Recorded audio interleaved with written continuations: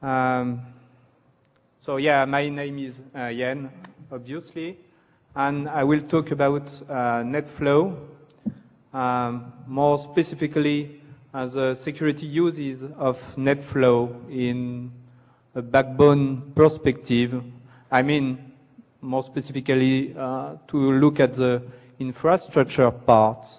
Uh, so I'm not really interested, well, I'm, the point is not uh, to have a look at uh, peer-to-peer or, or, massive uh, events in the data plane, but more uh, events targeting the control and management plane, but whatever. So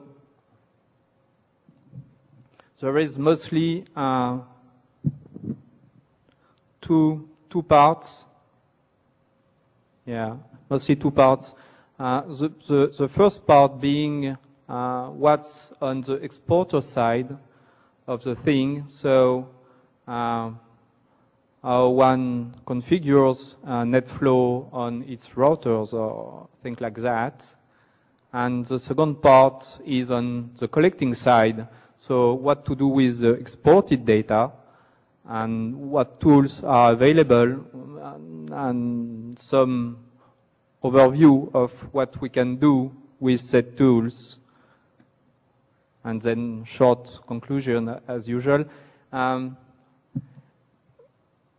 I, I, have, a, so this is a part with slides actually. Um, I will, I have um, a live capture of the NANOG traffic uh, on my locally on, on my disk. So uh, rather than to present uh, screenshots, I will will just have a look uh, using some tool uh, in the traffic which was captured uh, in the first few hour previous hours. that's it.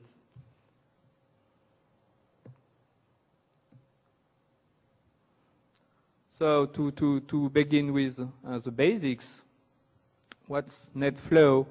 Uh, so everybody knows what NetFlow is, um, but okay, just uh, this is a, a, way for the routers to export some information regarding the, the packet forwarded. Um, yeah, so basically NetFlow is two things, uh, well, several things a, a metering process on the routers and routing uh, devices and um, a, a, protocol uh, on the wire to export and, and work on this data. Uh, yeah, so for different uh, uses like real time or near real time because uh, flows are not exported really real time, we'll see that. And then for more long term and trending or whatever you want to do with them, and forensics, that kind of, that kind of stuff. Uh, so at first, uh, NetFlow was and is pushed mainly by one uh, prominent vendor in the router land. Uh, but I, this is this is now an industry standard, meaning that uh, this is in the it's in the process of being uh, well, there is an IETF work group, IPFIX, uh, working on normalization uh, stuff. And uh, um, an important part, an important number of other uh, vendors beside vendor C uh, support NetFlow, support NetFlow. So this is quite an industry standard. The other standard or aiming to be a standard would be S-Flow, but with, without the same uh, support, device support. Uh, so, okay, so yeah, other, other technologies, crane, diameter, and S-Flow. Um, at one point, yeah, so when the IPFIX workgroup uh, started to work on uh, flow-like export normalization, they considered different uh, possibilities um, to, to, to use as a base for the, uh, the new protocol. And so they choose NetFlow v9. So I will talk about the different flavors of NetFlow. But just to, to say that uh, there were different proposals from different vendors, uh, like SFlow, as I said, and then uh, NetFlow, Cisco NetFlow was chosen as the base for IPFIX. So what's a, what's a flow uh, quickly? So two definition, uh, first one being, well, loose one, but it works. So basically, uh, you have packets forwarded uh, on your routers, and yeah, some of those packets share some characteristics, and okay, you decide that uh, th this set of characteristics uh, def define a flow. Okay, uh, same definition, more verbose. And so, well, actually, on the wire, what, what's a flow exactly? Uh, so some key fields, a number of them, and some additional fields. Uh, I am talking here about the, the, version 5 of NetFlow because I won't enter into big details, but there is different uh, versions of NetFlow um, historically, and so currently um, we are talking mostly about NetFlow v5, which is basically the standard, but NetFlow v9 is, uh, is pushing, so, okay. So a flow uh, version 5 is the key fields like source and destination uh, addresses, source and destination port, uh, the layer 3 protocol information, type of service, and the input IF index and then some additional fields like yeah, byte count, packet count, uh, the start and end time of the flow, um, the TCP flags when available or when uh, relevant, of course, and some routing informations like next, next hop, source and destination AS when available. Uh, so a few characteristics uh, based upon that is that a flow really is about layer uh, yeah, three and four information. Um, flow, flows are unidirectional, um, be it ingress or more recently egress, but uh, I mean that if we take, I will say a bit more later on that, but well, when we want to look at traffic, what we have in mind is uh, layer 7. Well, when, when we want to do some analysis, uh, what we see is la layer 7 traffic on the wire. And, but uh, the, the, flow records which are exported basically split uh, the two ways of the layer 7 communications or stream or, or conversation. Uh, call that uh, whatever you want. And, and so you end up with two, with two records in both ways, uh, if I'm clear. And okay, some other characteristics, but yeah, that's not without cost for the router, like uh, memory, CPU, so things you have to take into account uh, before before enabling NetFlow support on some of your boxes. And yeah, okay, not the perfect solution, blah, blah. Uh, so, rational. NetFlow was uh, first appeared, if I'm not mistaken, on 96, uh, on 96. So I'm not a Cisco guy, so uh, check with uh, your rep, but I think that's, that's the point.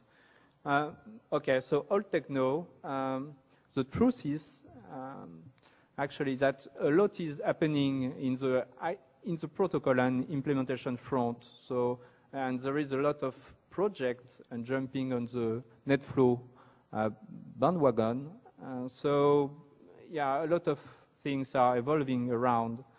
Okay, and even uh, with NetFlow being a known uh, techno, I mean, I keep uh, seeing in the uh, forums and the SP forum yeah, I want to monitor uh, that uh, kind of layer, layer three, layer four information for some customer's link or or on some um, part of my backbone, how, how should I uh, do that? Or what tool do you use to, or what can I do with NetFlow? I've heard about NetFlow, I don't know what, uh, what, the, what the uses are or, or whatever. So, okay, even being an, old and well-known techno, I think that there, there is room for, uh, well, I, I, hope so, uh, for tutorial uh, from the, the, the, beginning, from the router side to, to the, the tools, actually.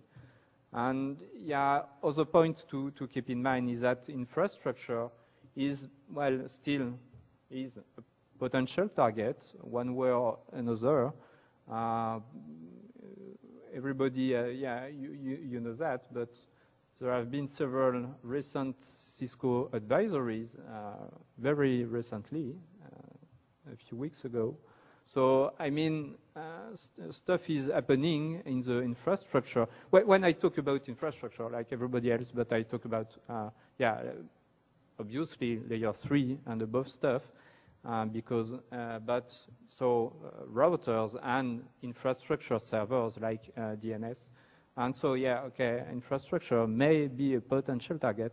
And, but what's needed actually is actual insight. I mean, there is a lot of uh, phantasms and, and thought discourses being heard and uh, what we need, what you need uh, on, on, your backbones, on your network, is, is to know what's happening.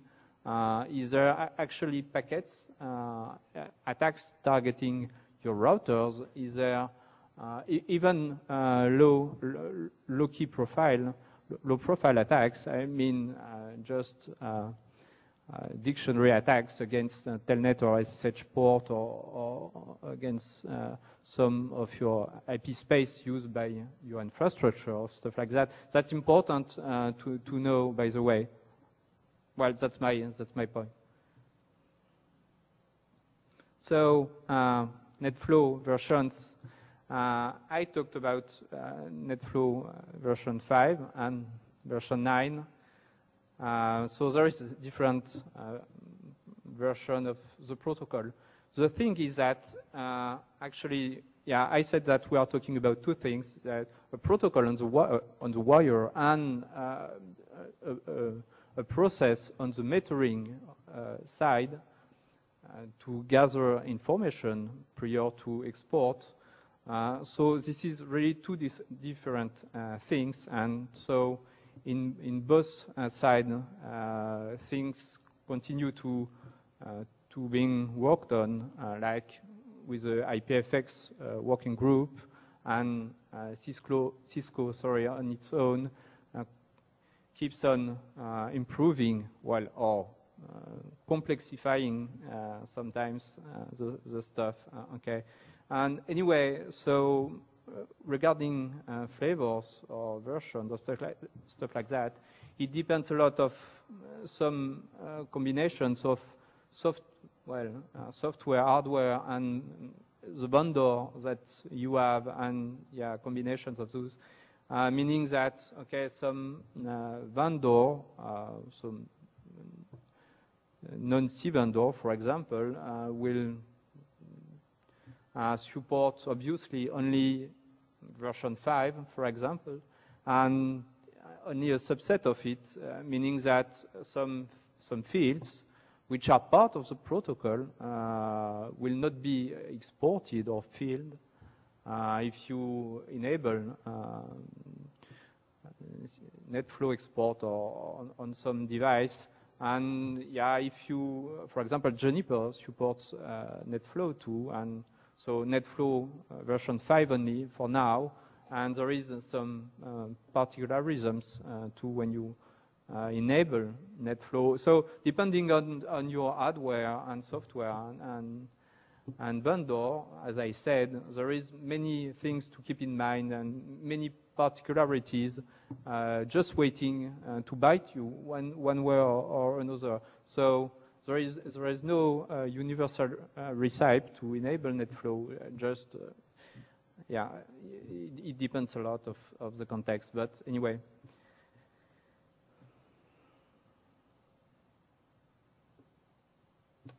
Yeah, so, sorry, I'm waiting.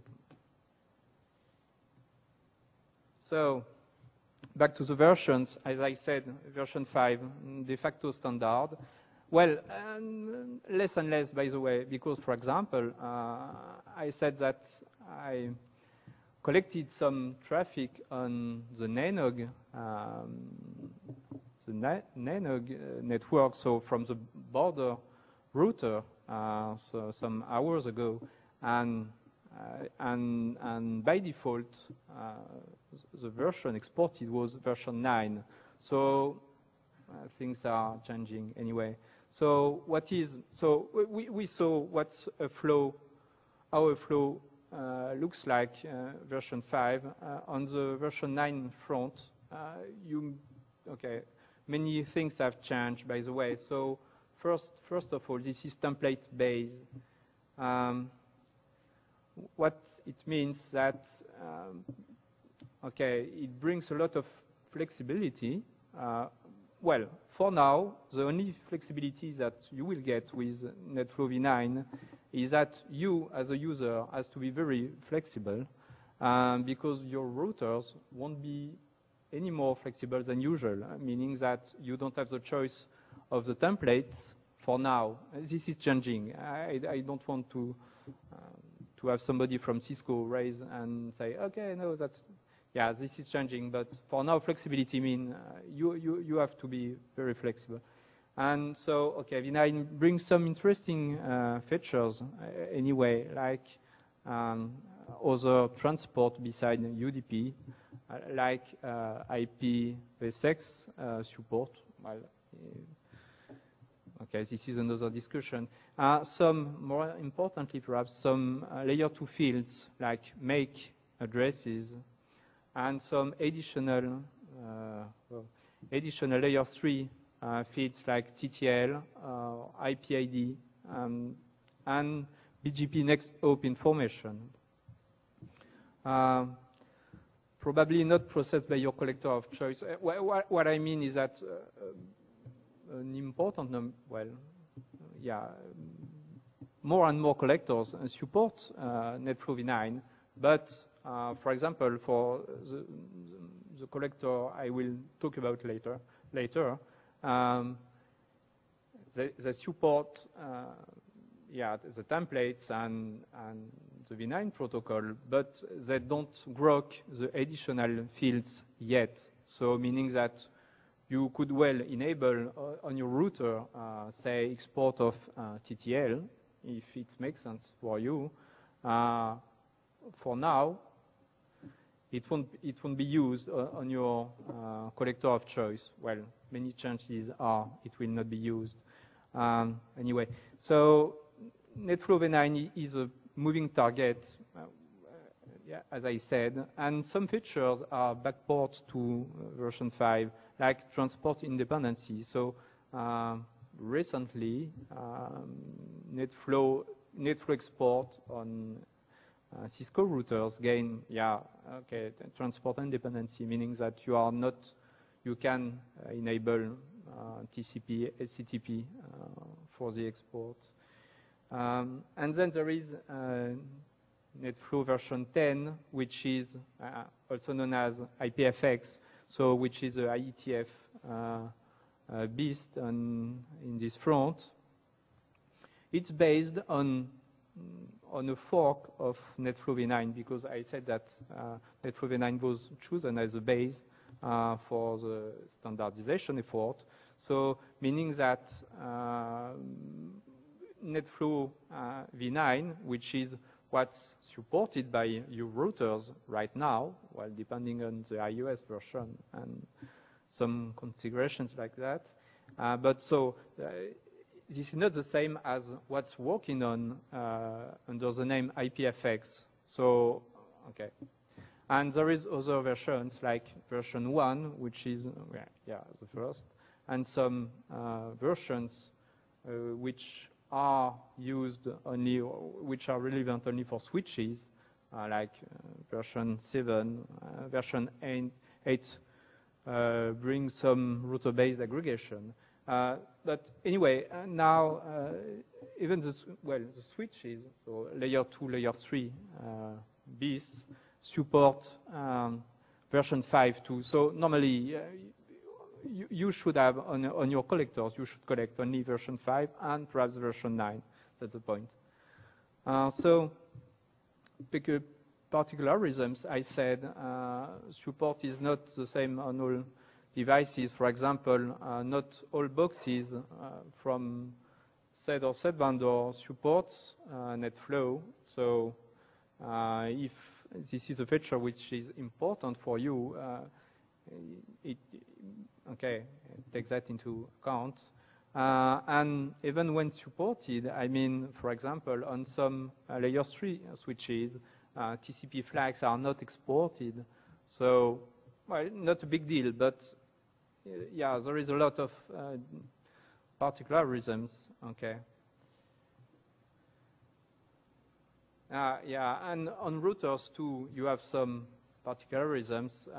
so when, when you want to enable uh, NetFlow on the 12Ks, uh, you have that big caution, uh, big warning on every doc, and every public uh, documentation that uh, saying that, okay, uh, all kind of trouble may, well, just do that during during the appropriate time frame. And then there is another caution, which is less less advertised, saying that uh, the way it's done on older uh, engines for the engines for the 12Ks, uh, enabling full NetFlow export puts uh, quite a, of burden on the memory. And so, and for, for the funny, I'm not sure, but for, for the anecdote, um, the cautions are, are, two, so don't do that. Uh, I, I, tried on a, on a 12K, and, and so you have two 12Ks, and on one you, you configure the NetFlow export, and you lose connectivity with your box, and so you check on the console, and you see uh, funny messages like yeah, usual uh, dCEF and distributed CEF disabled due to low memory conditions, and so you say, oops. And so, uh, but all your, your BGP peers uh, uh, went to the other 12K, and so the other 12K, which is uh, short on memory to uh, start to, okay, but not, not, not a, a, good idea, by the way. So do, do, do test on, on a lab, not in production. So yeah, this was some uh, overview of what's NetFlow. And then on uh, the flow cache, so the, the, principle of NetFlow is that basically you have one or several, uh, depend, depending of what we are talking about. So you have a, a memory cache which is kept on, on the routers, uh, uh, which is enabled not for, well, the wording is a bit uh, confusing. Uh, it's enabled, yeah, you enable NetFlow export and NetFlow capture per interface, but the cache is global for all interfaces, yeah. Okay, and so you can tune uh, the number of entries uh, you will keep anyway. And so the, the point how it works is that for each packet entering an interface, so either you have a co corresponding uh, flow existing already, and so a number of fields will be updated, uh, like, uh, for example, yeah, obviously the bytes and packet counts uh, will be summed. Uh, the end time will be updated with the new, the new end time of the new packet arrived. And so TCP flags uh, of course, uh, we are talking about TCP flags, and by the way, TCP flags are, are ORed together, so uh, you have that field, and so if you have a new packet entering with a, a, a, TCP flag which was not seen before, it will be ORed with, with the other one. Or if not, if there is no already an existing flow matching the packet, uh, a new entry is created. And then you have an expiration mechanism uh, to, to uh, manage, to keep the catch uh, low. And then some export if configured. But by the way, you can configure NetFlow uh, without configuring the export. This is two unrelated, unrelated things, even if it makes, uh, it makes less sense anyway. And so expiration mechanism, I said, so basically this is uh, either, either we are talking about a TCP packet, and so easy that uh, when you see a reset or, or fin uh, packet, uh, you, you expire uh, and export your flow, or after a timeout for inactive flows, meaning flows uh, during the time there have been no new packets entering the cache, or and uh, after a timeout for active flows, meaning that if you take a long uh, TCP session or whatever session, like SSH or Tunnel or, or whatever, uh, it will be splitted uh, into into time timed record, and so you will you will have not you will have to reconstruct uh, uh, your record, meaning that a long SSH session will be splitted upon uh, many different flows, many different records actually. And so, yeah, when, when the cache is full, it will be expired too.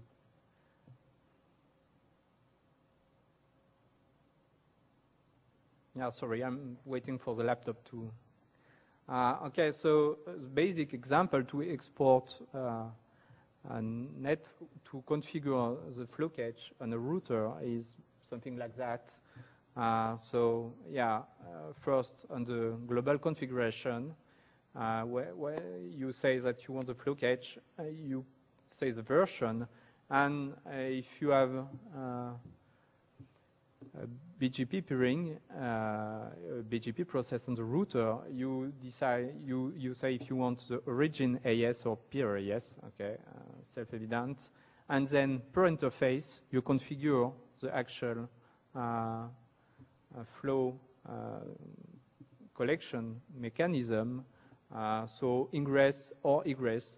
by default, well, this is ingress. Um, the, the, the, discussion actually uh, depends a lot of your what what uh, the kind of device we are talking about. For example, if you want to capture uh, um, traffic, multicast traffic, uh, depending, it may be inter interesting to enable egress uh, export, egress collect rather than ingress. So it depends of your requirements. But basically, the, the, simple case is that you take every of your interfaces and you enable uh, ingress, uh, collect, and so, yeah, with that you are able to, to match uh, every packet back and forth, every traffic back and forth uh, forwarded by, by the router.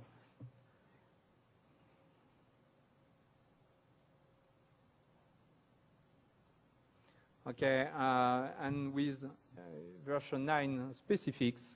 So you can add, as I say, but you can add uh, capture like layer 2 or the TTL, the, the, VLAN ID, and yeah, some V9 specifics, as, as I said. And then this is a part uh, on the layer two, three switches. Uh, so ND, NetFlow data export. And so you have uh, yet other uh, particularism. Uh, so just to, ex to export, uh, to, co to, collect uh, the flows. So depending, and the, the, point to keep in mind is that there is a flow mask on, on those devices. And so by default, you don't capture all the full granularity of information, but uh, you will restrict to uh, only uh, the addresses without the ports or so if you want full granularity you have to to, to yeah, to say that. So from a security perspective, this is good. Uh, the, the, more granularity we have, the better, of course. Now, from an operational perspective, uh, this is not the same. So it depends a lot of, of your box and OS are overloaded or not. And so uh, other uh, vendor, other uh, practices. So on Juniper, uh, NetFlow relies on adaptive service interfaces or whatever their name is. And basically, the, the way to enable uh, NetFlow is to, mm, so you define sampling rule in the firewall uh, uh, statement, and where you, you can put a sampling, uh, obviously can be, sampling can be one, so one out of one, meaning no sampling. And then you define input filter, uh, which are called for every interfaces where you want to enable NetFlow collect. And so, yeah, I, I have a, an example. Uh, just I mangled a bit uh, the Juniper uh, configuration uh, just to fit that on the screen, but the principle is there. And then just, well, um, one, one slide on FreeBSD. If you have on some parts of your backbone some FreeBSD routers, or perhaps not. Uh, anyway, so there is uh, an, an in-kernel, a kernel uh, netgraph for, for those being familiar with FreeBSD. So there is that kernel-based uh, framework, uh, which is called NetGraph, uh, which is a, a cool, cool framework, cool network framework and so there is, uh, with many different uh, nodes uh, to, to enable very interesting features anyway. And so there is uh, the NetFlow uh, NetGraph node. So, and you can uh, use that with uh, a NetGraph uh, node for uh, the, the FreeBSD native packet filtering IPFW. And so you end up with something like that. Uh, so that's very convenient. I have, yeah, I have another example, but that's dead easy to define filters, I mean. So if you want to, to enable the capture of only a, a, a subset of the traffic or, or something like that. So, okay, the, the syntax is okay, what it is, never mind. That's quite simple. But if you, you just want to enable I don't know why, traffic for SSH, for example. So this is only a matter of crafting uh, ACL in the filter, in the packet filter of the FreeBSD uh, box. So the syntax is, is, is uh, that simple. And so, yeah, oh, and yeah, the bad news is uh, AS fields are not populated, even if you have a BGP speaking daemon on, on your FreeBSD. So uh, if you, the purpose is to uh, to uh, the AS fields and routing information, don't use FreeBSD. Uh, the other bad news that I discovered is that it seems that uh, ICMP, uh, I, have not digged in actually to see if this is just a problem on, on my side or, or, um, or, I should push a bug report anyway. And so it seems that um, ICMP informations are not filled at all, meaning uh, type and code. Uh, I will talk about that uh, in, in some slides. But uh, so, okay, no ICMP uh, type and code if you use uh, FreeBSD with NGNetFlow. Um, yeah. So I talked about the flow cache and how data are expired uh, upon certain uh, circumstances. And so you, you have a way, as I mean, to keep the cache under control. I mean, so you can tune it, its size, uh, obviously. So uh, the default size of the cache, of the flow cache, depends a lot of your uh, hardware and its memory. Uh, you can uh, play with the edging of entries, meaning that uh, you can that's a good idea to lower uh, to to lower uh, the export the active uh, timeouts. And because so as I said or perhaps not but it was written in a slide but the default uh, active timeout for a flow for, for a record in the memory cache is uh, uh, 30 minutes. And meaning that if you want to do near real-time uh, analysis uh, with your records, uh, a long flow, you, you will not collect it, um, at least before, after, yeah, okay, you see there is, I will, ah, sorry. So there will be at least 30 minutes uh, during which you will not be able to see uh, some records of interest. So just you can lower those edging uh, timeouts. Uh, you can enable, you can enable, and probably depending on the size and uh, the traffic considered, uh, you will need to enable sampling. So, okay, I will talk about sampling a bit later. Uh, you can do input filtering if you know that uh, you don't need uh, to look at that kind of traffic or you need to only collect that and that part of the traffic. Uh, you can put filters which are defined like uh, policy maps on Cisco. So to say, okay, I'm in only interested by the traffic matching uh, those uh, layer three, layer four uh, kind of information. And then I talked about flow mask before, which is the way on the catalyst to, to, to, to lose some granularity, but okay, and to manage more, more traffic if needed.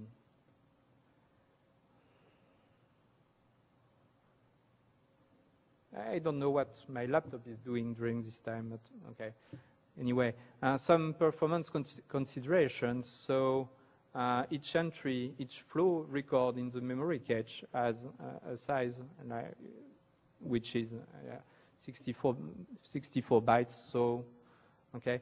Um, I talked about uh, the version 8 of NetFlow, which brings uh, aggregation uh, router side, so meaning that uh, when you have a router supporting uh, uh, version 8 and that you enable aggregation, you will end up creating another cache in which data are aggregated, for example, by um, by netmask or by a number of fields where you can play with.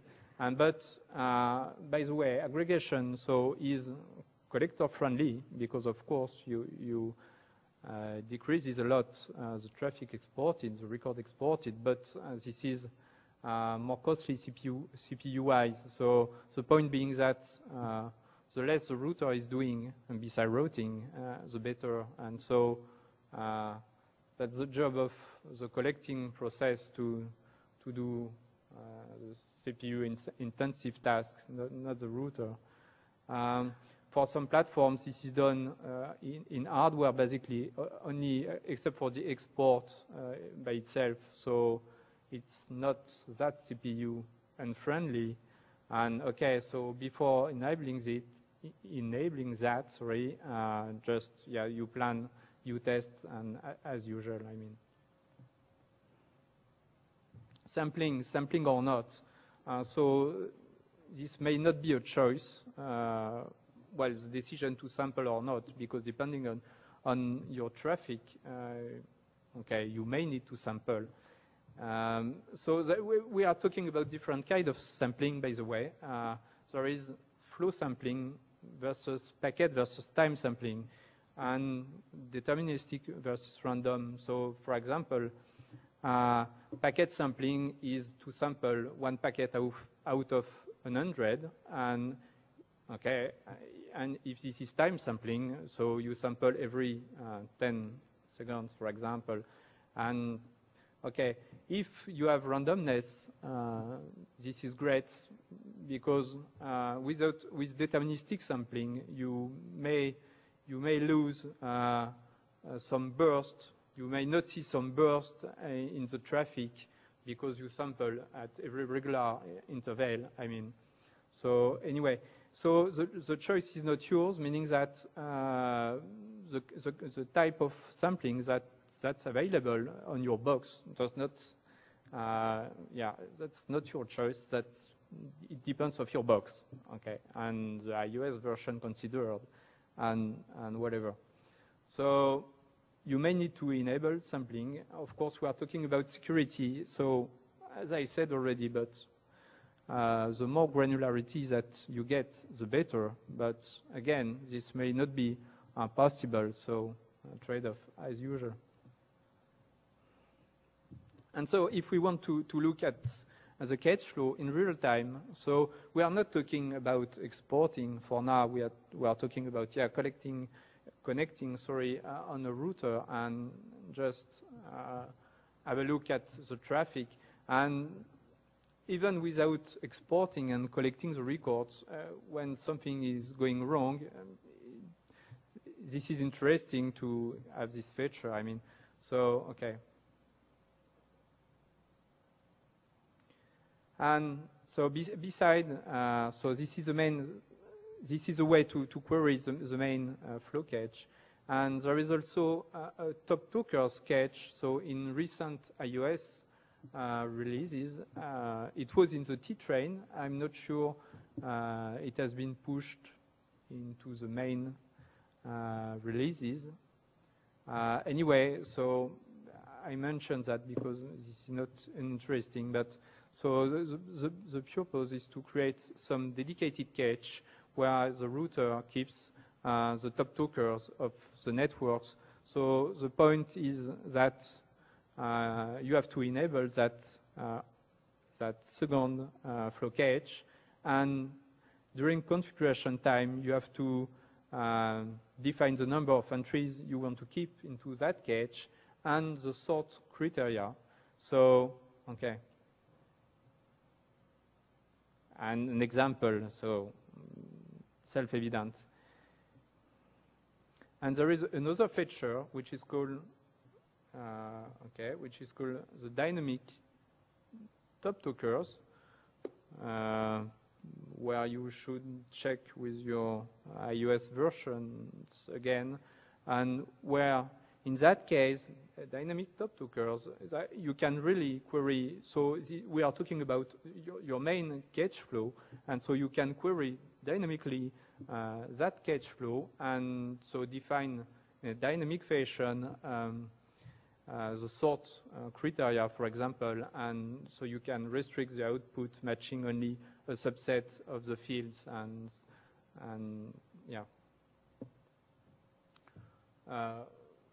Yeah, so uh, in the Juniper case, uh, there is this, uh, I just, I don't want to, to, to do any, I, I like every vendor uh, a lot, uh, but there is this cool uh, CLI, I mean, where you can use pipe statement and to just match a subset of the output and just trim the output and so that's quite powerful. So, okay. And my examples would not be complete without uh, FreeBSD. Uh, so you have that uh, flowctl uh, uh CLI just to query your cache. And of course, uh, you have the usual grep, sort, cut, whatever Unix tools export. So uh, we, we saw how to uh, enable, sorry, uh, the metering, the NetFlow metering process on the routers and the flow cache and how to look at the, the cache. And so our, our goal here is to export the data actually, not, not to keep that on the routers. Uh, so the way it works is that when upon expiration, so we saw the expiration mechanism on the cache, uh, upon expiration, flows are uh, exported if export is configured. And so they are all packed together, uh, um, okay, and they are sent on the wire on a UDP datagram. So there is a, a NetFlow header with a version, with a sequence number, with the number of records which are exported. And then you have those records, which are packed together on one uh, datagram, so between 1 and 30 flow records per uh, export.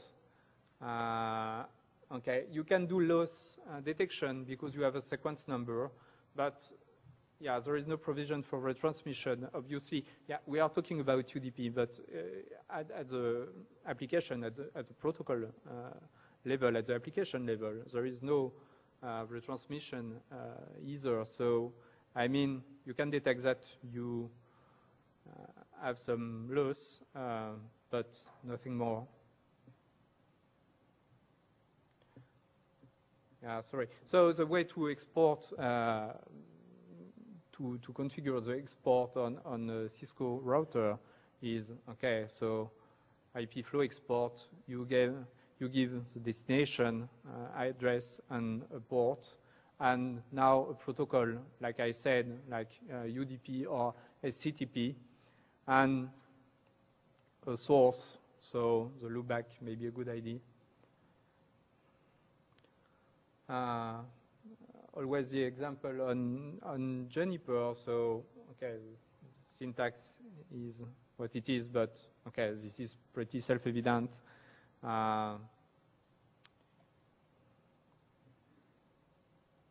and then non-FreeBSD, of course, again.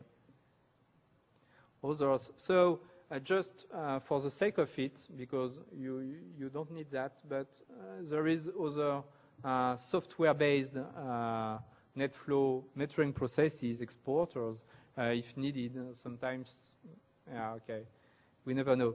so mostly they are based, well, there is two, two families, but mostly they are based on PCAP.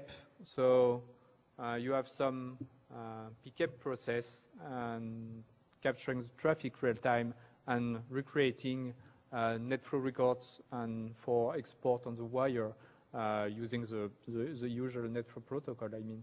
So you have a number of uh, projects uh, existing.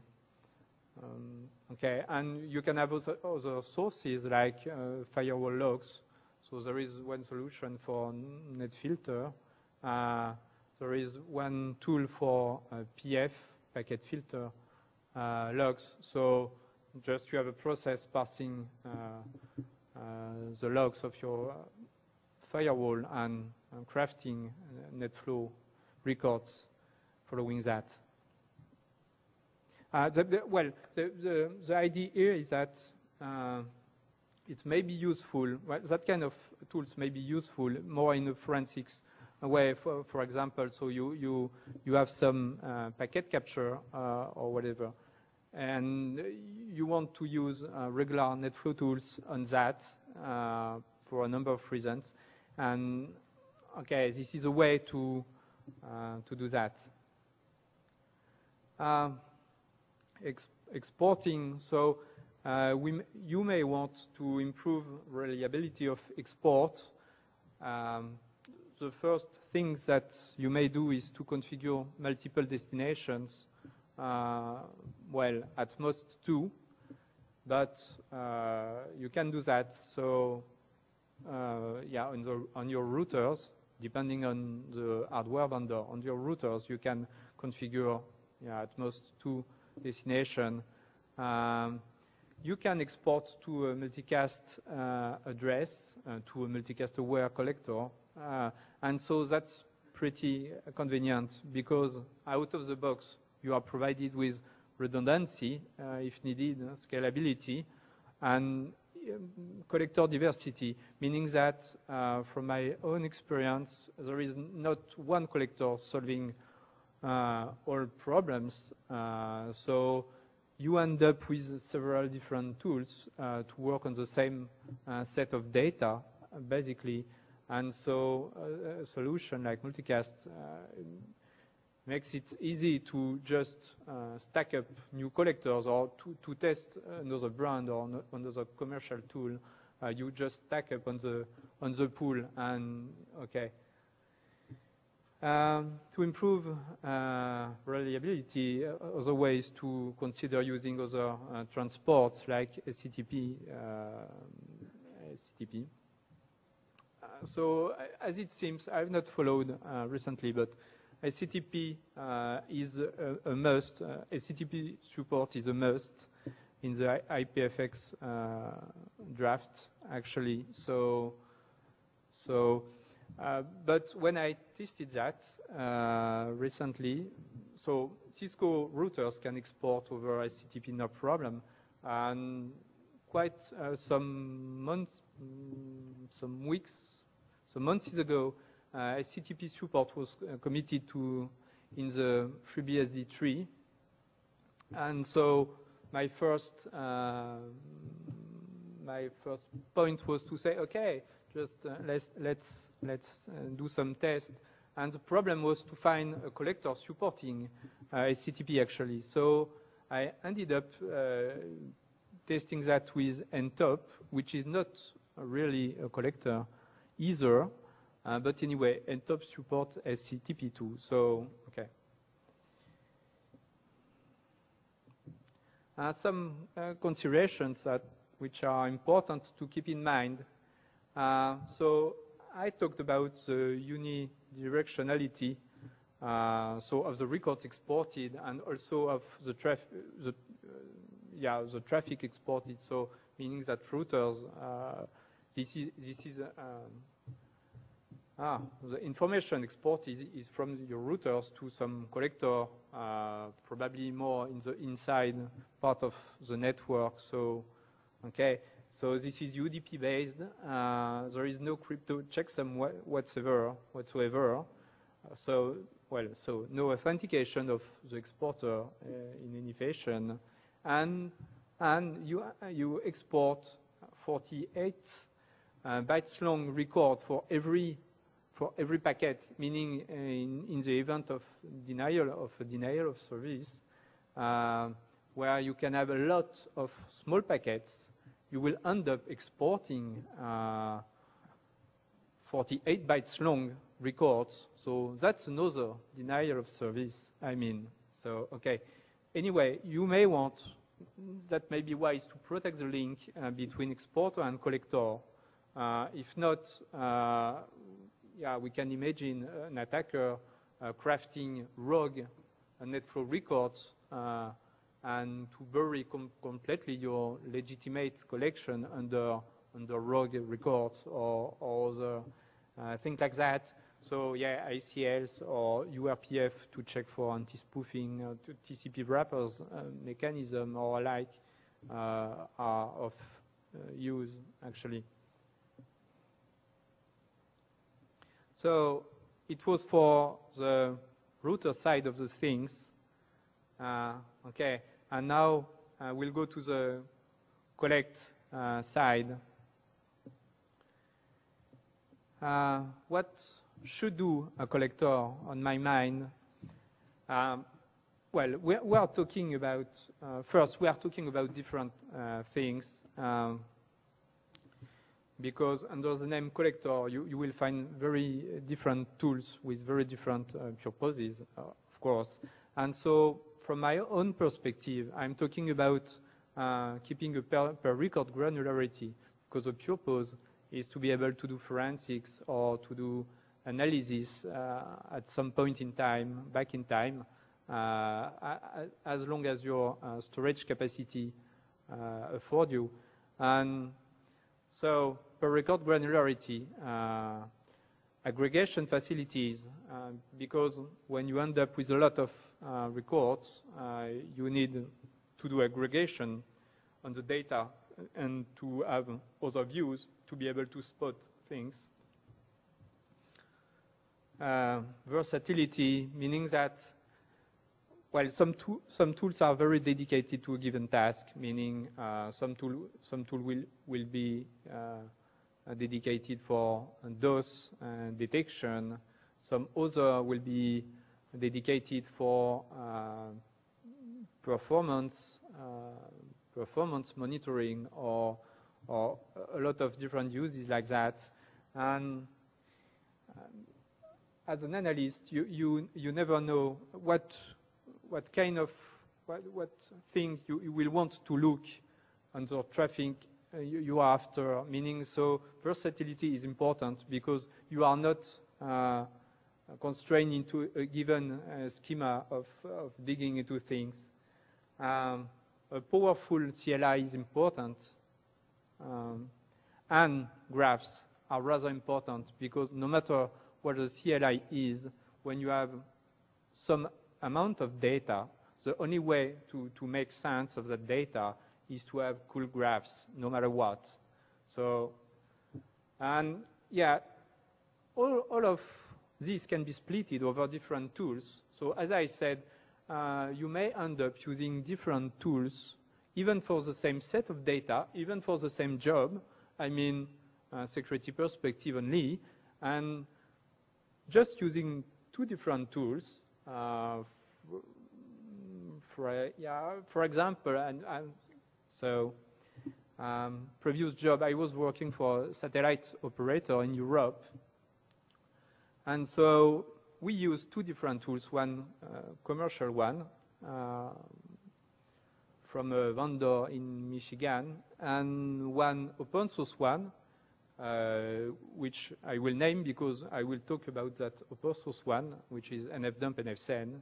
And so the, the only fact to have two different tools, uh, well, this is rather convenient to look at the same problem with two different set of, of tools and two different ways to, to present the information. And some uh, problems are difficult to spot with one and easier with the other or the reverse. You, you see the idea.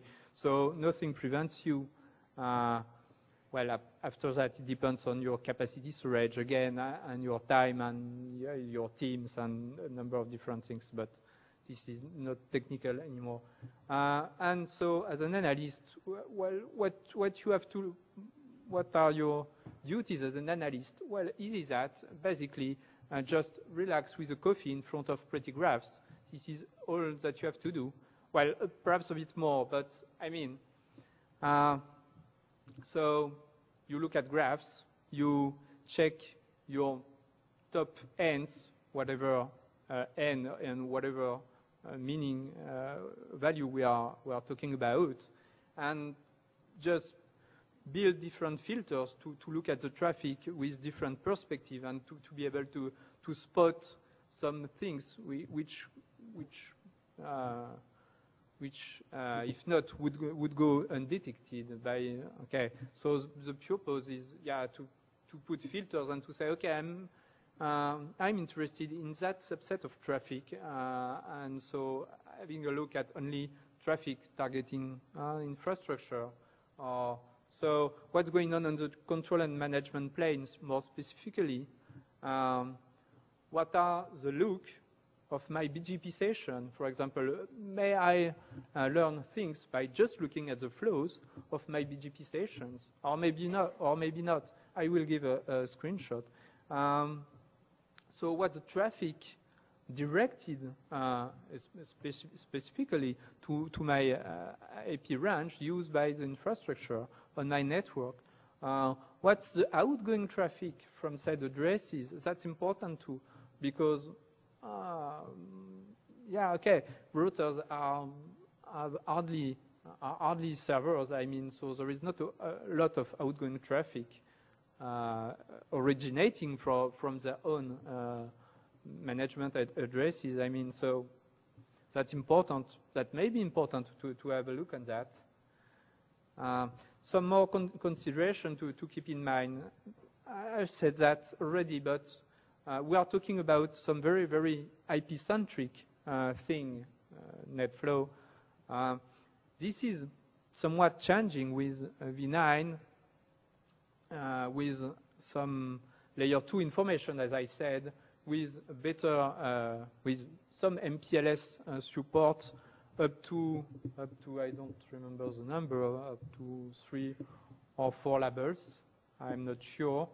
Um, but obviously, we are not talking about uh, some uh, any over whatever over whatever uh, encapsulate, encapsulate, sorry, encapsulation scheme friendly uh, monitoring tool, uh, meaning that, okay, obviously you only have layer 3, layer 4, so all which is IP over IP or UDP over IP or layer 2 over uh, whatever, uh, you will have a hard time. So the, the best you can do, if, if we are talking about uh,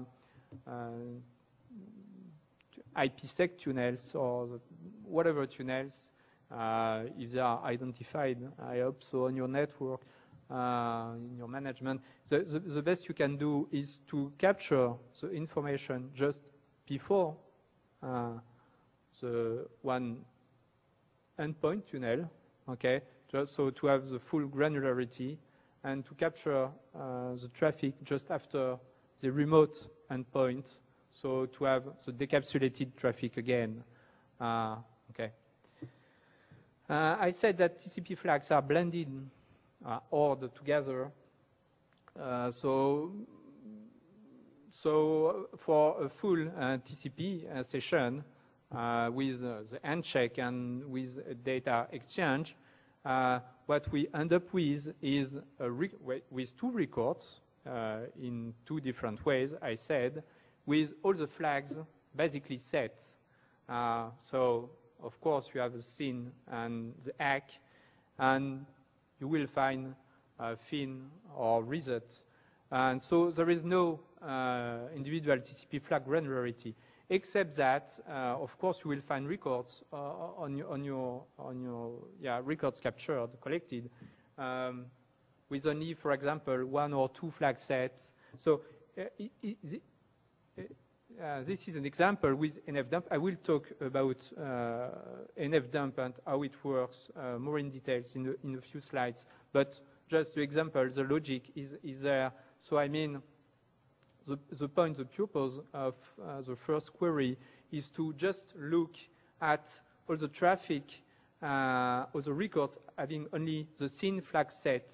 So the SYN and not any other uh, flag, obviously uh, the second query is I want uh, the records having um, the reset flag set, maybe uh, along with the ACK flag set, but not other uh, flag.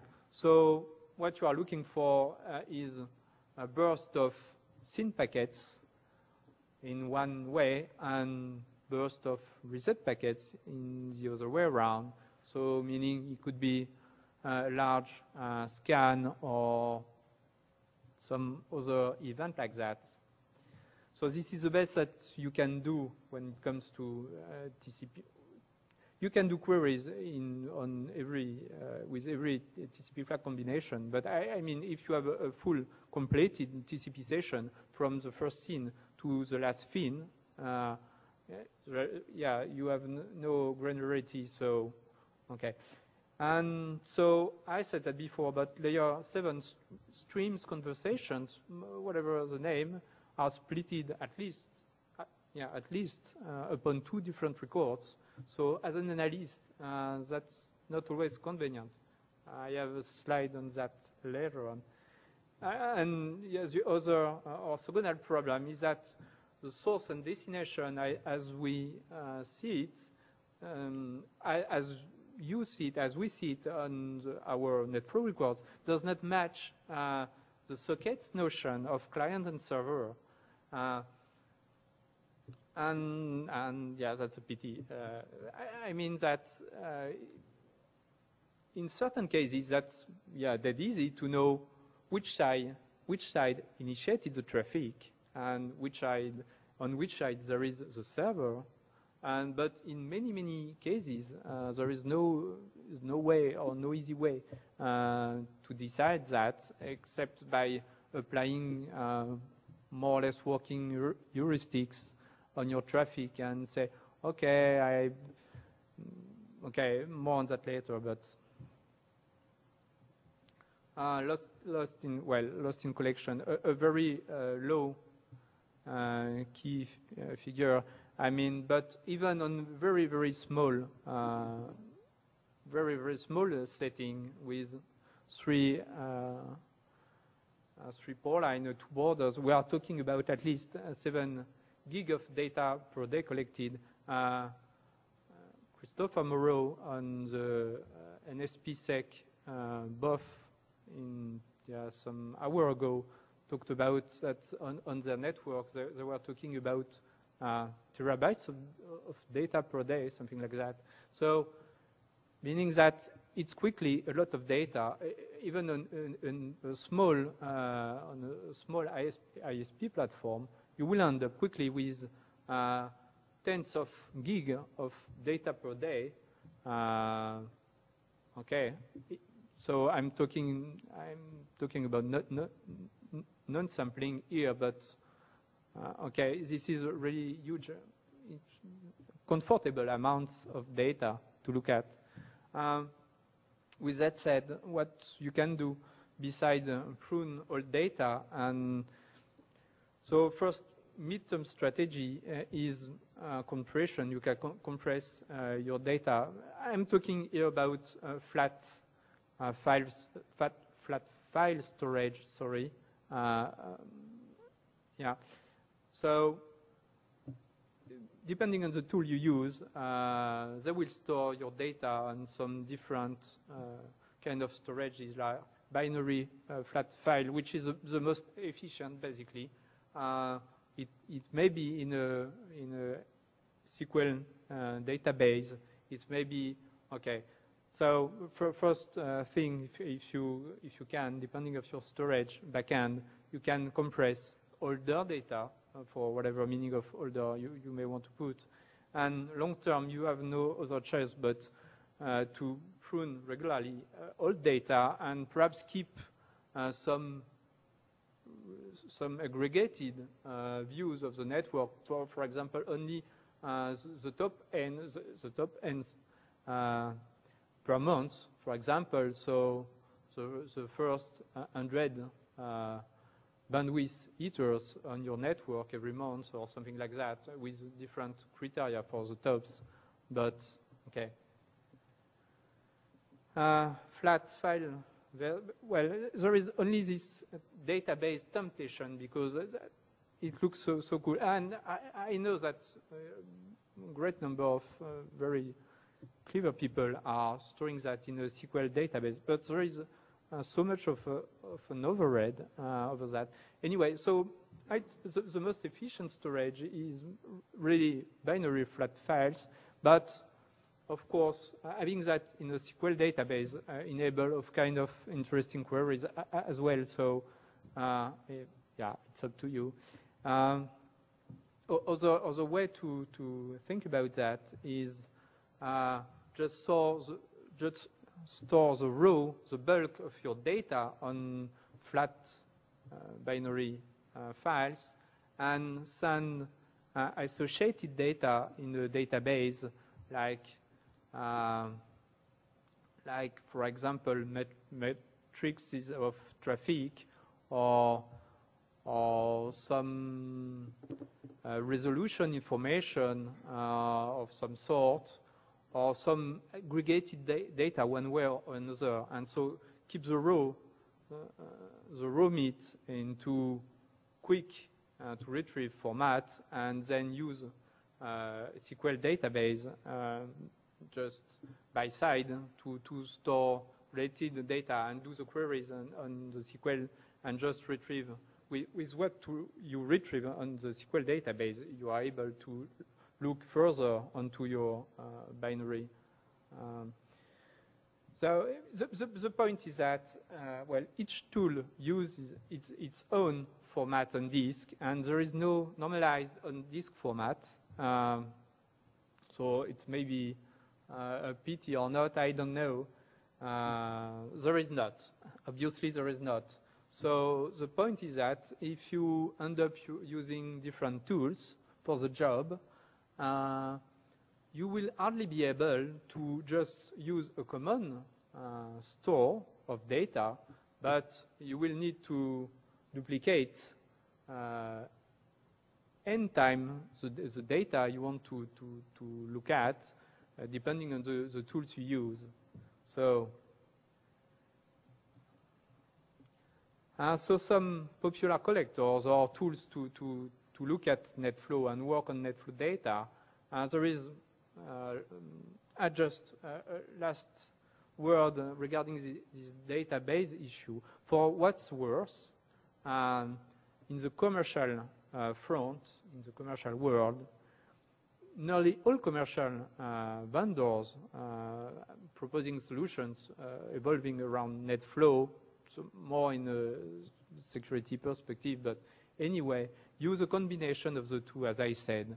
So the raw data and flat files on disk and some Postgres or, or MySQL installation beside to store associated data. Okay. Anyway, so there is a lot of different uh, tools to work on with NetFlow data, uh, both open source and commercial. Uh, okay, with different uh, strengths and weaknesses. So just some names: uh, Arbor PeakFlow, uh, which is I don't want to, but which is really a great, great tools. Um, I've not tried Lancope.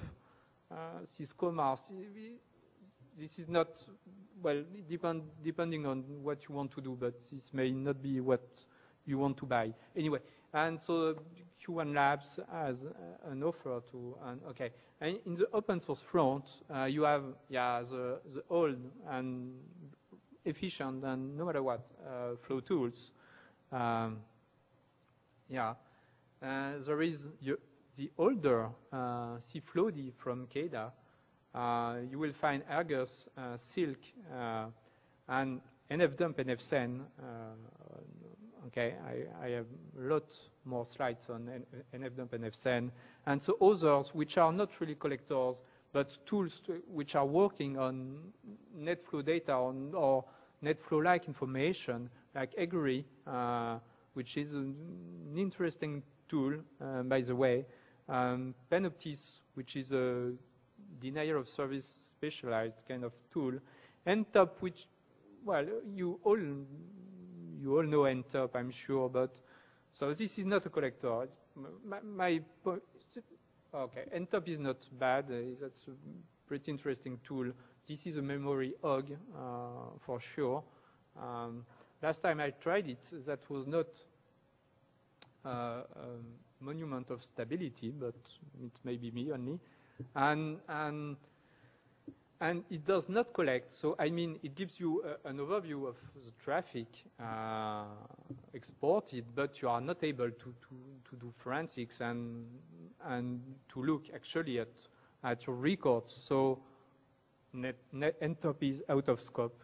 Stager is, is basically in the same category. That's a cool tool, uh, but keeping only a very, very aggregated view of the data uh, so more for to have uh, trending and, and bandwidth and so on uh, um, consummation, and so not what we are looking after. So uh, flow tools, my take on that. Uh, there is a lot of projects, uh, in-house projects using flow tools. So if you use that, that's perfect. That's a very, very good tool. I'm I'm not trying to, to say uh, bad things or, or, whatever. So this is a historical uh, collection and analysis uh, package because all, all, those tools are doing both the, the collecting uh, process of, of, the things and uh, they have the client front ends uh, to let you dig into the data collected. there is many, many pages and issues associated scripts and and uh, floating around and contributions and you know, ma many, many things. There is a huge user community. I have no uh, figures, but okay. Uh, well, the CLI is, is, in my, well, okay, I'm not that fond of the CLI of flow tools, but uh, that's only me probably.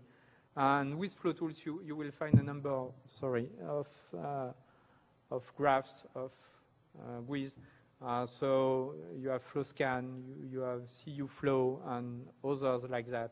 So the great thing is that you are not tied with uh, uh, some graphical front end. You have flow tools on one side, and you can you have different uh, possibilities as a as a graphical front end. On the minus side is that okay, they are not uh, tight, tightly coupled together. So of course. That's not exactly maintained.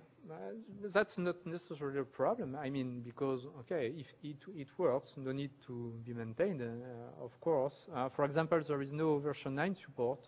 Uh, um, so version 9 uh, has, brings all kinds of complexity and maybe uh, quirks uh, with it.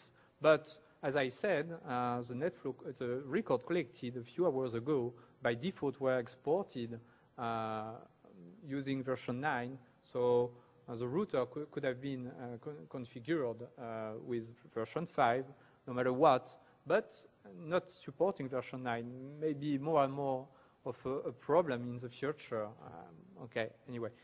Um, other uh, versatile, in the versatile category, uh, other uh, tool, which is NFDump and FSEN. Well, this is two sets of tool, NFSen being uh, the CLI uh, and collecting and CLI part, and FSEN being the, the, the graph, graphical front end.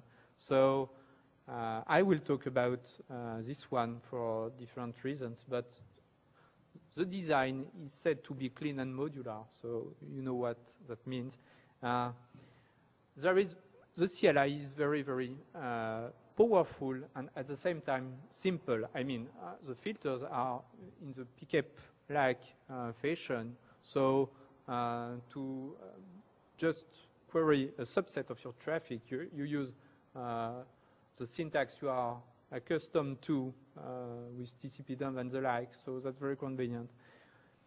The, the good point is that so uh, there is NFSen as a, as a graph uh, front end, so they are tightly coupled together, so it brings all kind of interesting possibilities.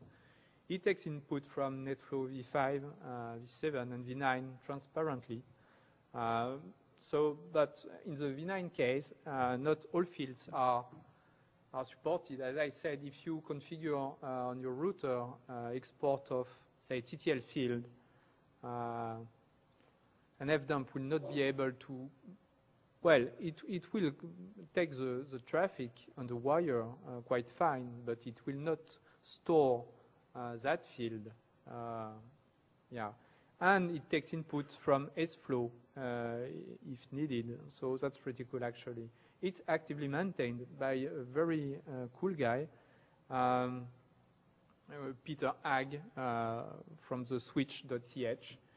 And so, and Peter is really uh, responsive. I mean, if you have some suggestion, some bug report, some whatever, some ID that you want to be pushed, uh, you are more, more than welcome. There is a mailing list and so you can, you can contribute and uh, okay.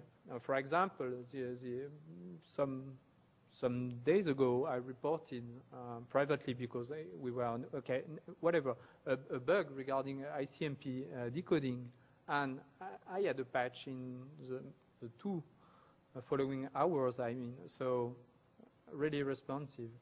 There is uh, a, a plugin system uh, so that's great. So that's an easy way to um, build more capability out of uh, an and FSEN. Uh, the, maybe the, the, problem is that there is not a lot of plugins available.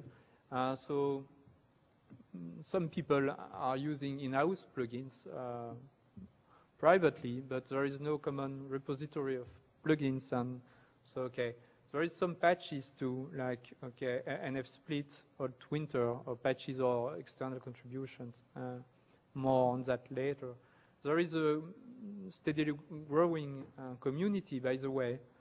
Um, so on the very, very good points, versatile, so you can use NFDump for network troubleshooting, all kind of troubleshooting, uh, performance uh, considerations, security, whatever, uh, be it on, for real-time data or long-term trending and or forensics or so, uh, yeah.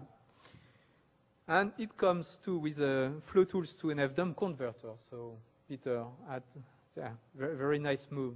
So yeah, and so the winner is obviously uh, so NFDump and FSEN uh, with some more details on the architecture front. Uh, you have two processes, uh, NFCAPD and SFCAPD, sorry, which are responsible of collecting uh, the data coming from the from the network.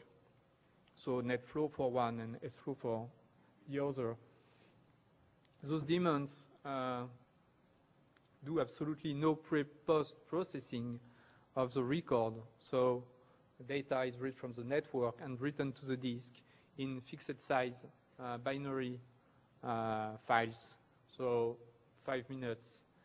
Uh, and they made the mux to other collector if you want to uh, use another brand or another type of collector besides, yeah, you can just uh, configure nfcapd to replicate all the traffic received to another uh, address. And so you have nfdump on the client side to read the data stored and work on that. And you have some other, like nfreplay to replace traffic uh, expire and profile to manage profiles. And yeah, okay. And you have nfsen, which graphs uh, the information based on RRD tools and which act as a front end to NFDump queries uh, with a plugin management system. Installation is rather simple, actually. So uh, you can download uh, the tables on SourceForge. Um, you have two branches, basically, stable, a stable branch and snapshots. Uh, currently, uh, there are snapshots for the upcoming 1.3 NFSen release. Uh, it brings major, really major usability improvements. Uh, so, okay, but uh, there is some not stability problem. Peter, if you hear me, but uh, this is really a work in progress. So you may see a new snapshot every two days or so, uh, fixing fixing the problem of the previous snapshot and bringing perhaps some more problems. So you are, uh, okay, you know. Anyway, there is an upgrade path provided between uh, releases, snapshots, whatever. So you are not supposed to lose data when you upgrade uh, from one to another version. Uh, to install compile and fdump, all you need is basically a C compiler and as for nfsen, what you need is Perl, PHP, RRD tools. And so, okay, PHP extension like session and socket. Uh, you may need to bump the maximum number of uh, System 5 IPC semaphores uh, because it consumes one per uh, source, per collector. So, okay. And fdump so principle is simple. It reads an fcapt stored files, and you can use uh, pcap, pcap-like filters, as I said, and okay, and you can do all kind of uh, interesting aggregation, uh, post-processing. So, for example, aggregation uh, per subnet if you want to have a look at the traffic, but uh, you want to aggregate on /24 or, or whatever. And you can produce uh, the top uh, ends consumer of by flow or packets or bytes or whatever and order the results. Okay, and then display so, an, uh, yeah, and display, uh, sorry, you, you, have some uh, predefined formats for the output, and you have also user-defined. so, an example, it supports the format, uh, the format uh, style of uh, formatting, sorry. so predefined formats where you can say that you want yeah, the classic output and long extended to have more data like the TCP flags, if any. pipe is actually uh, the more scriptable uh, output where all fields are separated by pipes, and row where you can have all the fields uh, okay, and you can define your own own uh, filters format if needed. If you want to display only uh, the duration and yeah, source and, and destination address and port, so something like that works. Uh, another example of uh, of define uh, output to to display AS metrics traffic uh, so, okay. Uh, if you if you really need to, you can define your own uh, your own formats. And so in nfdump.c, uh, the author actually uh, explains how to, to, to, define that. So that's, that's quite uh, easy, uh, actually, if you need some really user-defined uh, output of your own for whatever post-processing that you may need. You can do that and you have to, uh, so you read the instructions in nfdump.c and recompile and that's it basically. And so it was for the nfdump part. And for nfsen, uh, you have a, a, rather explicit configuration file where you, you will uh, put forth various passes, like where are uh, installed the binaries, where are installed the front end, uh, the data repository, whatever. And, okay, and some uh, watermarking, uh, this watermarking, uh, and stuff like that. And this is how it looks. Uh, I go really quickly on the screenshots because I have live screenshots, as I said, so much better. And data organization, uh, you, you can organize on this the data in, with different schemes. So depending on yeah, your configuration file. Uh, so you can decide to have all the data uh, collected, sorry, in one big uh, directory, but it will fill up pretty quickly with five minutes uh, slot files. Or you can have yeah, different hierarchies depending on your needs. Um, and data organization, profiles, we'll, we'll see that uh, later, managing profiles.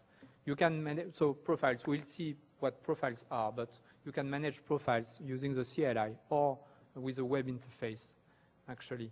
And so just an example of building a, a profile to look uh, more in details of yeah, UDP traffic on some given port.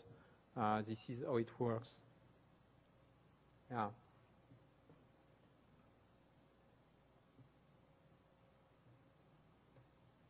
And channels, but we'll see that detail. Uh, uh, okay, I, I, will switch. Yeah, uh, so actually this is the traffic captured, uh, well captured, the net flow uh, as the net flow records as, as exported on the border router of NANOG uh, from yesterday afternoon till uh, right after I started to talk here, right? Um, so this is the main uh, tab panel. Uh, yeah, okay. And so in the graph uh, tab, you are able to, uh, to have a look at the different, uh, at the traffic using different metrics with, yeah, number of flows and packets and, and bytes, I mean. And then you have a detail uh, tab where you can do actually uh, queries. So I mean, uh, so if you want to work on some, I don't know,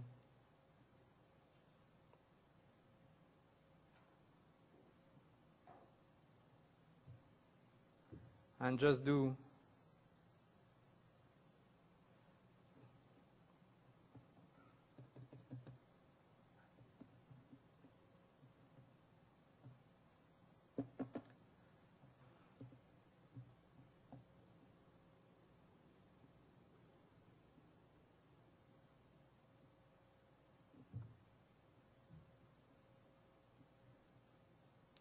Yeah, okay. So you see the ID, basically.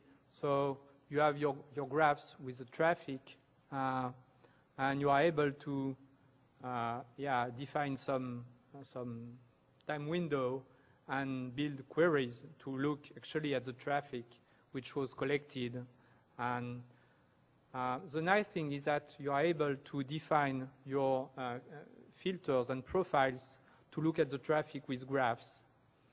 Um, so an example, I, I built uh, a few uh, filters uh, to look more in details at the traffic.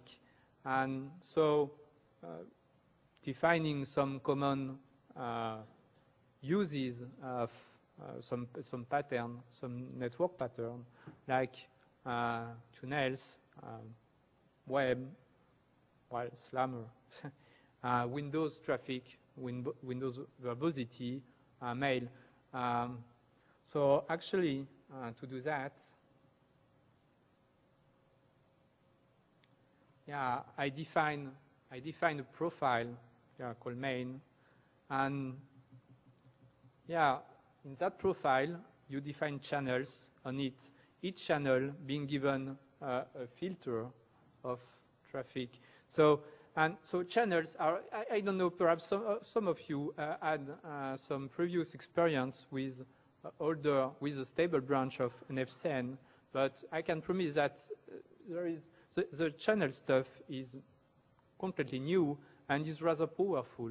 Before that, you were, you were stuck basically with one filter per profile. Okay, okay, I go quickly. Thanks. And, and so, and with non-nestable, uh, stackable profiles. So, okay, so quickly. Uh, so you see, you, you define a profile, so rather uh, simple actually, and you define channels with a filter information associated to each. So, uh, well, the way I did that was to, to, to put in mail all traffic uh, for SMTP, uh, IMAP, and, and POP, and then, so, okay, you, you, see. So, for example, in tunnels, I put HTTPS, but, uh, okay, it could be HTTP, it could be web uh, surfing as well, so that's another.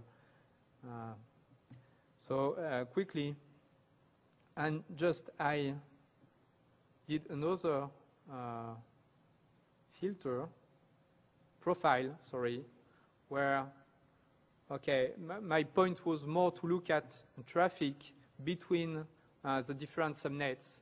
So uh, basically, there is three group of IP address uh, considered. Well, four if you want. There is uh, traffic from the big evil internet, between the big evil internet and uh, the dynamic pool of addresses used by your laptops uh, DHCP leases, I mean. And there's traffic from the internet to uh, the pool of addresses used by the routers and the infrastructure in the network. And uh, yeah, okay, basically that's it. And then traffic between the dynamic pool and that infrastructure. And ghost, ghost traffic being uh, in small red, uh, let me see, ghost traffic being traffic directed to uh, not attributed uh, IPs in the infrastructure space. Uh, so the nice thing is that you can unselect uh, channels to see more in details uh, some traffic pattern. Okay, and so if we just have a look quickly.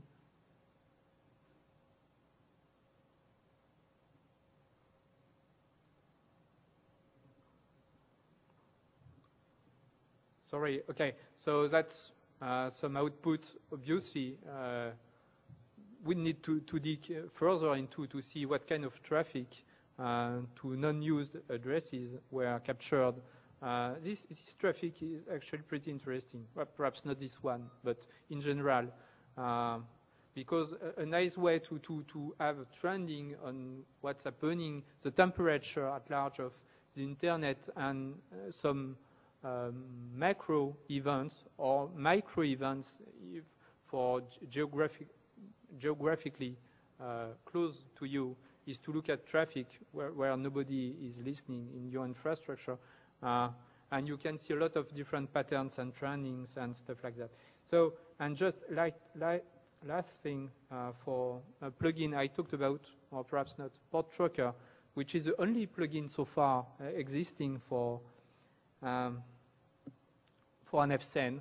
And so, okay, the name is rather uh, self-evident, the port being to, to track uh, the top talkers ports, uh, but you may end up, okay, my, my base is uh, plain wrong here because there is only dynamic ports, but as I am not capturing uh, traffic anymore, it keeps updating with, okay, anyway. And just, uh, okay, resolution, okay, I, I, have a screenshot for that. Now you have resolution, and that's great, that's, uh, uh, that's new too. Uh, and you can configure, so you have name and AS resolution uh, in NFSen, so you can configure that if you uh, look into lookup.pm in the libexec directory. If you want to use another server for uh, AS resolution or change the timeout, for example, the, the timeout 10 seconds is, is, rather low, and so you may need to increase that. okay. Plugins, I said about plugins. There is a patch is floating around to enable Holt-Winter um, style RRD tools uh, to look further into the traffic captured with uh, NFSen. And there was some discussions, uh, um, there was some discussions to, to, to know if um, that ought, ought, to be integrated into the main trunk uh, or, or, or, or, not. So I, I don't know uh, what uh, will follow, but anyway, uh, so Holt-Winter is a, an algorithm used mainly in uh, cl climate changes, uh, right, to spot anomalies in traffic. And so uh, the nice thing with that patch uh, is that you can, sorry, is that you can install that in parallel with an existing NFSen installation. So you are not supposed to break your main, your main NFSen installation, and you ca can have that in parallel what my machine is doing. Okay, so if we okay if we if we look uh, on the above uh, pans, the traffic, it may it may not be uh, simple to to spot anomalies in in the lower source of traffic. I mean, uh, in the brown part, or okay, and uh, a thing like uh, Holt-Winter enables to yeah just look at the trending and the patterns, the usual patterns, and with that you are able to spot an anomaly which was clearly not visible in the main uh, part, I mean, if you see what I mean. Okay, so with that, you may be able to spot, more specifically in less verbose uh, sources of information. Uh, just a concrete example, uh, quickly, quickly. Um, so example below purely uh, fictional, of course, but if you were to, you, you may want to, to, to, have a look at traffic uh, with certain characteristics. I mean, for example, some ICMP types and code or with certain protocols or stuff like that. Actually, the, the, the first requirement, uh, we can do nothing for that because there is no uh, IP option which are captured with NetFlow. So we are not able to match traffic based on some options. Anyway, uh, we are able to, to look at ICMP uh, traffic and uh, other protocols. The, the, the last uh, clause is that the packet is sent to physical or virtual address. Uh, it's interesting to have a look if you have some kind of uh, traffic on, on your network. So ICMP case, with ICMP, just by the, the way it works is that uh, to encode ICMP information, uh, indeed, uh, the source code, the so source port, sorry, is always zero. Uh, so when there is uh, ICMP traffic captured, forwarded by a router, it will export a record of that ICMP traffic with a source port of zero, and the code and type uh, are shoehorned into the destination port. Okay, so if we have a look uh, at, at record. The little problem that we have with, with NFDump is that for now there is no specific uh, keywords to, to, to do queries on the type and code. Uh, so you have to use the actual uh, 16 bits value to do the query. So meaning if you want to, to match tape uh, 8 and 13 and, and so on uh, traffic with NFDump, you will, be the, you will end up building a filter like proto-ICMP and port, blah, blah, blah, blah, blah. Take your calc, that's easy, but that's a bit uh, boring to do. Uh, yeah, okay, adding a, adding a new profile and channel, we saw that. Uh, uh, okay, direction. I said that there is no way to, to, to build a direction out of the records because uh, the way it's done. And biflows, uh, it, it would be cool sometimes to, to have to, to work on biflows. By the way, all all the commercial uh, tools working with NetFlow end up uh, matching biflow. So meaning that you are able to see with one record both sides of the conversation. Uh, and NFDump does not do that. Uh, so you, you can uh, fire your, your favorite uh, script language of yours like Perl or, or Python or, or, Ruby or whatever and, and build a small aggregation, biflow aggr aggregator. That, that's quite, that's not hard. I mean, uh, okay, from PCAP to NetFlow, but I said some things about that. Just BGP, some just a graph. Uh, I, am not sure there is actually an interest in, in looking at BGP traffic uh, from a NetFlow perspective. But, um, well, BGP is pretty much, in every meaning of the term, like a heartbeat traffic, I mean. Uh, and so this is how it looks like uh, in a regular, with one peer, in, in a regular uh, update and withdrawal uh, cycle, I mean, so regular exchange of packet. And uh, this is how it looks when there is some eBGP uh, instability, yeah, multi-hop instability. So, of course, we see uh, we see a big increase of traffic. So, so I mean that only by, by looking and if there is a massive or some uh, increase of the updates received, for example, they will end up being uh, in your graph. So uh, with that, I'm not sure, the, I don't know if this is uh, useful or not. Uh, it, yeah, okay. But I mean, with that at least, you're able to say, okay, at that time, there is a, peak, there is an increase of BGP traffic uh, between that and that peers.